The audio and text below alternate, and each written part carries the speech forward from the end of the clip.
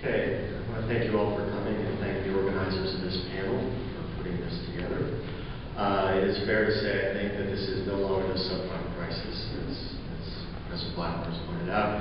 It is now being referred to typically as the worst financial crisis since the Great Depression. And it speaks very much to the very real panic, both from Wall Street to Main Street, and whatever street it is that academics anxiously ponder their 401k values on. Um, but amidst all of this anxiety, anxiety that we as academics feel, and, and for that matter, all of American society, I think there's an unfortunate and perhaps even growing tendency to view this crisis as singular, exceptional, and above all, near impossible for anyone to have predicted. And the metaphor of choice right now, current in financial circles, uh, among many people, is that this is what is typically called a black swan event a term popularized by the financial engineer turned philosopher Nassim Nicholas Taleb, whose best-selling book, The Black Swan, The Impact of the Highly Improbable, uses this metaphor of the unthinkable, a swan that is black, even though there is actually a species of swan that is black, but that's beside the point. Uh, and this has provided a kind of metaphor, a way of understanding this particular crisis. It is a crisis, in other words, without peer or precedent, and one that could never have been predicted using mathematical models in particular. And I think he's right on the mathematical models, but wrong on the idea that this is unprecedented or somehow improbable. This is not what we are now witnessing, a black swan event. This is, I think, what you could call a white swan event, one that has a rather long and illustrious series of predecessors in and beyond the United States. It is, in particular, in this country, the latest chapter in a long and storied history of exuberant speculation in land and in real estate, and just as important, the increasingly complex paper instruments that have derived their value from underlying property. Now, this history, I'm not going to go through it, you know, blow by blow, but it has very long roots. You could arguably say that it began with John Law in Europe, in particular in France, and the speculative bubble that grew out of the Mississippi Company was grounded in speculation on lands and what was going to become ultimately the Louisiana Purchase and was a disastrous, terrible collapse that left France and much of Europe with a long-standing antipathy toward paper instruments of all kinds. It was, however, a harbinger of things to come. Land in what would become the United States was the focus of a remarkable degree of speculative activity. Indeed, I think you could say, I don't want to wade into tired debates about whether America is exceptional, but the fact that land, as opposed to other solid assets, has been the basis of so much economic activity from the colonial era onward, I think is remarkable. It has been oftentimes the raw capital upon which so many speculative ventures were predicated and fortunes made. What I think is interesting about this is from the beginning, and you still see this now, there was an understanding that there was a hint of alchemy and magic to all of this. One of the first promoters of land banks in the colonies argued that paper money backed by land was effectively a, quote, philosopher's stone that could turn other matter, as one commentator put it in the 1700s, and by this he meant land, other matter into silver and gold by the power of thought.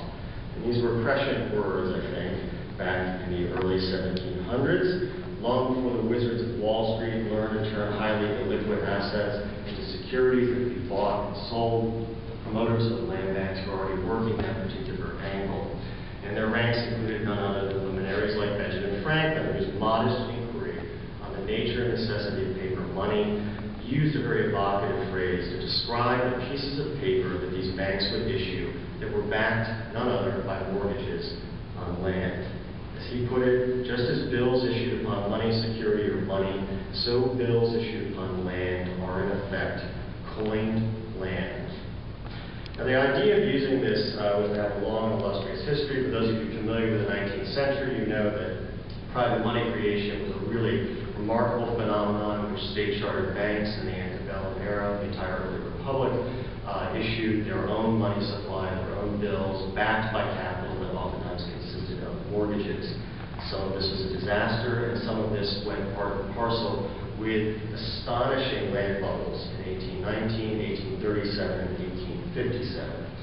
And typically, in these cycles, banks would make loans to speculators in the form of banknotes who would purchase land, and then the land would be used as collateral to obtain more loans, to buy more land, and the cycle would eventually spin out of control and come crashing down. The reason I'm bringing all this up is that I think there's a, there's a, a, a real easy way in which we can sort of see this as the product of Alan Greenspan, perhaps, or, or, or and, and that is the direct cause of, of, perhaps in part, of what's going on. But it's fascinating to me how these, these trends and these tendencies go back not only decades, but centuries.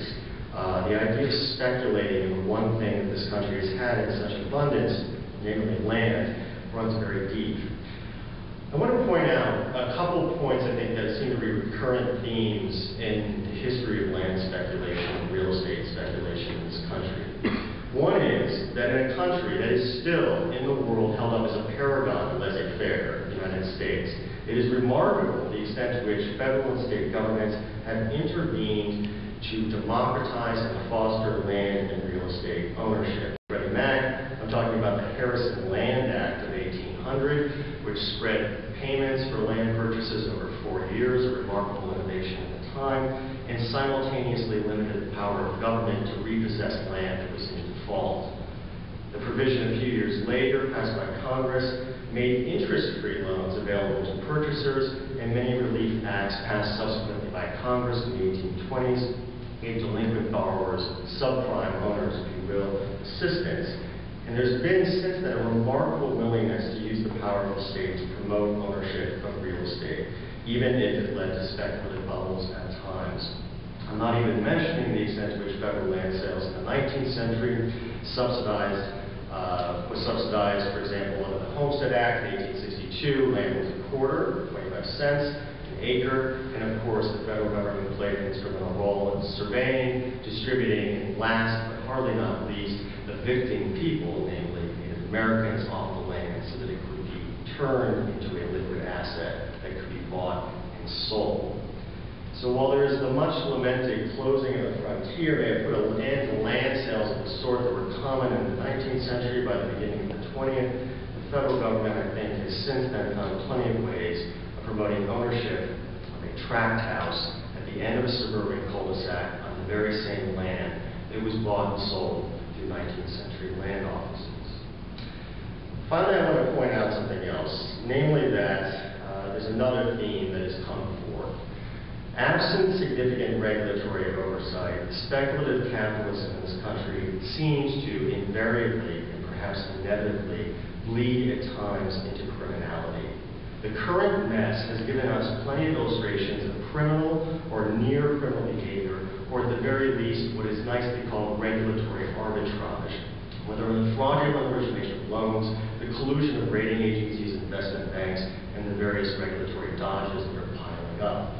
Nobel Prize-winning economist Paul Krugman put it nicely a couple weeks ago, saying, how different really is Mr. Madoff, Madoff from the tail of the investment industry as a whole. and I mean to cast no aspersions upon our professional participants on this panel. I mean, this is a this is a blanket statement and an unfair statement to some extent, but it is one I think that is worth making and worth drawing into.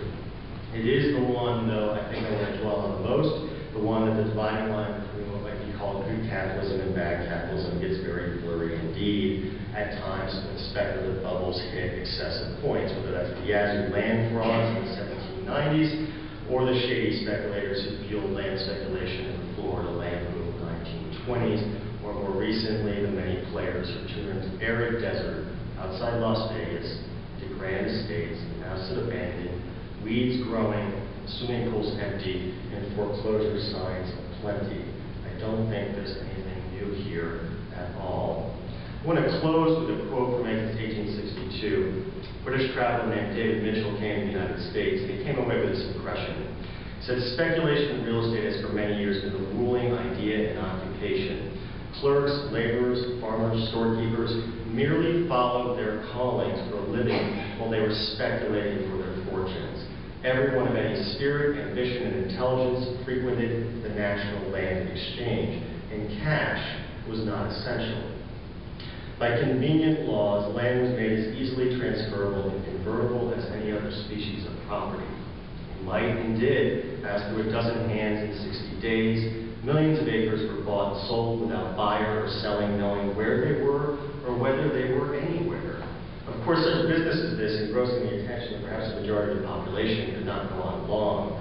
The whole domestic history of time, which ended in panic, affords a striking illustration of the tendency seize upon some project or idea, to dwell upon it, inflate it, make it into a mania, run it into the ground, and then forget all about it. I think we're here today, I hope, to see how we can put the current crisis into something so that we don't forget all about it once